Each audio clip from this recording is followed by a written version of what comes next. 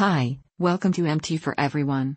Customization of corpus-based MT engines tutorial series.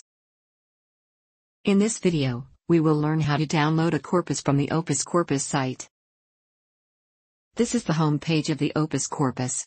Here you can find a wide range of solutions to prepare your MT datasets. Let's MT, for example, is a toolkit similar to Kantan MT, and Sketch Engine is meant for terminology extraction. Here you can find alternative tools for machine learning and corpus creation. In this series we will cover a few of them. In the Subcorpora section, you can find a variety of corpus from different domains. We clicked on the DGT corpus since our domain is patents and contracts. Every corpus page offers a set of downloadable links. On the top you can find general information about this collection. The number of languages, the number of tokens in which it is available. In the first download section, you can either get the files in XS and XML format or get a sample file of the corpus. Make sure to follow these instructions.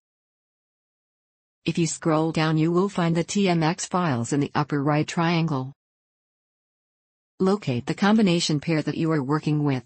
In our case we are interested in getting a corpus from Spanish to English, but it is not available. So go ahead and click on the English to Spanish version. After downloading the TMX file, you will have to unzip it, and then open it in a simple text editor. We recommend using Notepad++ for Windows users and TextWrangler for Mac users. There you go. We have successfully downloaded a corpus in less than 5 minutes. If you find this tutorial helpful, please like it. Machine translation technology for everyone.